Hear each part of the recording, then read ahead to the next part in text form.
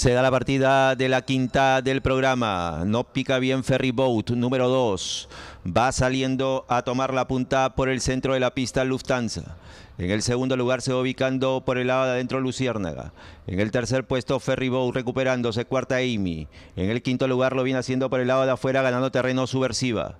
Así recorren los primeros 300 metros. Lufthansa quedó en la punta. En el segundo lugar, Amy a cabeza tercera subversiva. En el cuarto lugar, Follower. Luego lo viene haciendo Luciérnaga, Ferry Bow, Mama Queca.